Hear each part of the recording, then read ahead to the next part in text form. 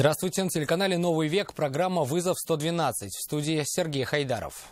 И сегодня мы расскажем об убийстве директора магазина сантехники. Сосед выходил в 12 часов ночи покурить. Такого не слышно было. На теле мужчины насчитали 4 ножевых ранения. Платить не хотели. А вы нападали, получается, да? Я банку пива украл. Мужчины пытались украсть из магазина корзину с продуктами. Скрылся с места ДТП и расстроился, что задержали. Водителя госпитализировали в республиканский наркологический диспансер. Это и не только прямо сейчас. В Казани убили 34-летнего директора магазина сантехники. Преступление произошло на улице Восстания, предположительно минувшей ночью. Однако тело убитого обнаружили лишь утром. На нем эксперты насчитали 4 колото-резанных раны. Предполагаемый убийца попал на записи камер видеонаблюдения. С места трагедии репортаж Хайрата Назипова. Как рассказали соседи, тело мужчины обнаружила его родная сестра. Девушка пришла на работу к 8 утра. Зайдя в помещение, она увидела страшную картину. На полу были лужи крови и тело убитого с открытыми глазами. Известно, что мужчине 34 года. Он работал директором магазина сантехники и зачастую сам продавал товары. Судя по всему, ночью он остался в помещении, чтобы закончить дела. Давно вообще он директор магазина или как? Здесь-то? Да. Лет 5-6, наверное. У него проблем не было никаких там, никто не угрожал. Не могу сказать. На эту тему с ним не разговариваю. Жильцы окрестных домов знали убитого мужчину, характеризуют его как спокойного и неконфликтного человека. О том, что происходило здесь ночью, никто ничего не знал. Сосед выходил в 12 часов ночи покурить. Все, говорит, такого не слышно было. Расследованием этого дела занимается Следственный комитет. На месте происшествия криминалисты обнаружили три ножа, а на теле убитого насчитали четыре колото-резанных ран. То, что это убийство, сомнений нет.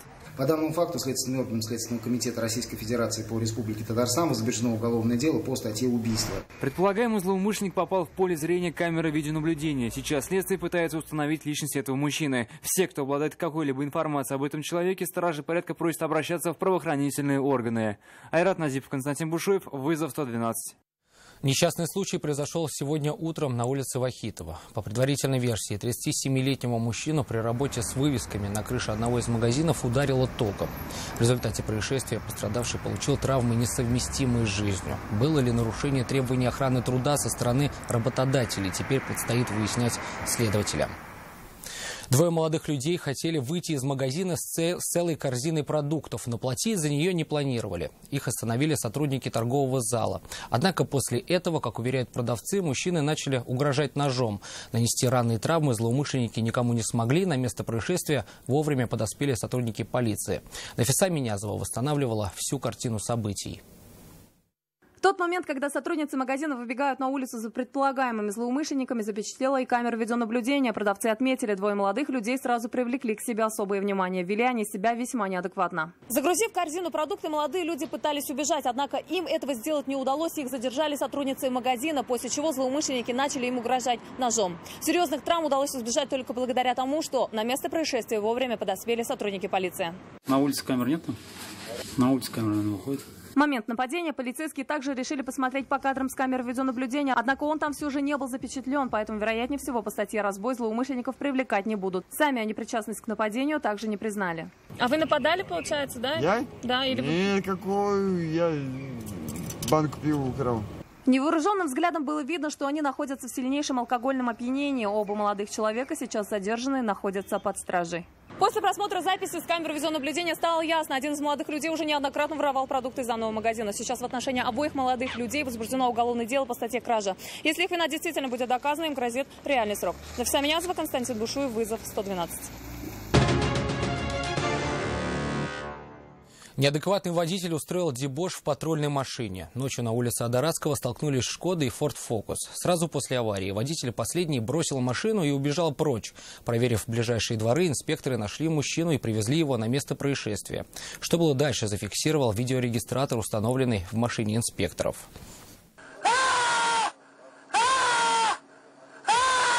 Оказавшись в полицейской машине, 29-летний мужчина неожиданно начал громко заявлять о себе. Он издавал непонятные звуки, мотал головой из стороны в сторону. На замечание не реагировал. Полицейские ради него же самого пристегнули мужчину ремнем безопасности.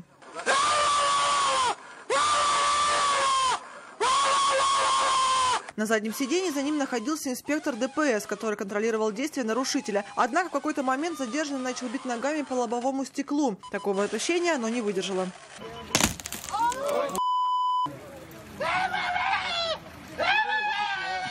Позже на место приехала следственно-оперативная группа и бригада скорой помощи. Мужчину госпитализировали в республиканский наркологический диспансер. В настоящее время по факту случившегося проводится проверка, после которой будет принято соответствующее процессуальное решение. Алина Бережная, Ратназипов, вызов 112 сжег свой мотоцикл и пытался убежать. Минувшей ночью на улице Декабристов автоинспекторы остановили мотоцикл без регистрационных знаков. Водитель предъявил документы категории «Б» и договор купли-продажи транспортного средства. Других документов не было. При оформлении протоколов он подкатил свой байк к патрульному мотоциклу, выдернул топливный шланг и поджег бензин. При этом попытался скрыться, но безуспешно. Молодой человек был доставлен в полицию. Ему предстоит ответить за езду на незарегистрированном мотоцикле без права ему управления и страховки. Вероятно, ему предстоит оплатить и ремонт фасада магазина, пострадавшего от огня. В деле о виновнике ДТП между водителем «Шевроле» и мотоциклистом поставлена точка, по крайней мере, на ближайшее время. Сегодня Новосавиновский районный суд Казани признал автомобилиста невиновным. На данный момент никто из участников аварии не несет ответственность за произошедшее. Вероятнее всего, стороны конфликта вновь обратятся с исковым заявлением о признании виновным друг друга. Цель она как бы не достигнута до конца. То есть э, просто сегодня какая ситуация получается? Получается таким образом то, что никто из обоих водителей ПДД не нарушил. Вот, получается таким образом. Но, тем не менее, мы считаем то, что виновником в данном ДТП является водитель мотоцикла. И, соответственно, будем делать для того, чтобы признать его виновным. Вымогали, избивали и уничтожали. Сегодня в авиастроительном районном суде слушали дело о вымогательстве. Как следует из материалов следствия, пятеро подсудимых на протяжении порядка двух лет ракетировали владельца кафе, требуя с него ежемесячно 15 тысяч рублей. Чем закончилась эта история, расскажет Дмитрий Аринин. Как он вам угрожал? Какие он вам угрозы сказал? Типа, э, дол долгое время работаешь, здесь никому не платишь, ты совсем оборзел. Вот такими грубыми словами. Как рассказал потерпевший Яхис Бахышев, с подсудимым познакомился еще задолго до первого нападения. Сначала общение было нормальным, а позже начались проблемы. Хозяину кафе начали угрожать и требовать деньги – по 15 тысяч рублей в месяц. Потерпевший рассказывает, что долго терпел их выходки, но в июне минувшего года понял, что так дальше нельзя и дал отпор. Тогда, по версии следствия, подсудимые ворвались в его заведение. Просто подходили и ничего не спрашивали, э, прямо э, разбомбили, удар, читать, все что угодно кидали подряд. Мне в тот момент только защищаться надо было, я уже был в шоке. В этот день досталось как заведению, так и людям. Потерпевший получил ссадины и гематомы, а его супруга – ушибы селезенки и синяки. Сразу после нападения они вызвали полицию. Вскоре подозреваемые были задержаны. Обвиняемый, находясь в непосредственной близости от кафе с целью причинения морального, физического, материального вреда его владельцу, а также с целью устрашения и принуждения его к выполнению их незаконных требований, в том числе за возможность продолжения его трудовой деятельности, совершили преступные действия, предусмотренные положениями статей 163, 213, 116, 167 Уголовного кодекса Российской Федерации. Это вымогательство, хулиганство, побои а также умышленное уничтожение и повреждение имущества. Следующее заседание состоится 23 мая. Дмитрий Айрин, Айрат Назипов, Константин Бушуев. Вызов 112.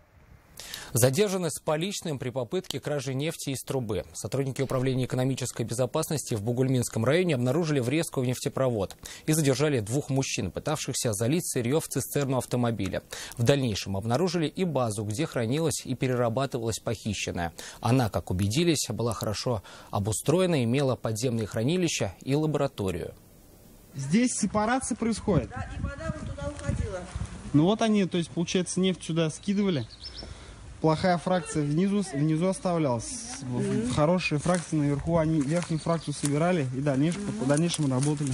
Азнакаевский район – одна из промышленных зон поселка Актюбинский. Как установили оперативники, на расположенную здесь базу и свозили похищенную нефть. Цистерны заполняли в районе населенного пункта Кызыл-Чешма Бугульминского района через технологические заглушки, расположенные на магистрали нефтепровода. На месте отбора нефти было организовано наблюдение, по результатам которого в момент залива нефти в емкость, установленную на автомобиле, были задержаны двое мужчин. В ходе дальнейших мероприятий на базе, где осуществлялось складирование похищенной нефти, были обнаружены подземные резервуары, в которых находилась похищенная ранее нефть объемом не менее 30 кубов. В дальнейшем, как установили сотрудники Управления экономической безопасности, сырье отстаивали, отделяли от воды и продавали как товарную нефть. В отношении подозреваемых возбуждено уголовное дело по статье «Кража». Она предусматривает до 6 лет лишения свободы. Станислав Яковлев, вызов 112. Это все, о чем мы успели вам рассказать. В студии был Сергей Хайдаров. До встречи. И не бросайте вызов судьбе, вдруг она его примет.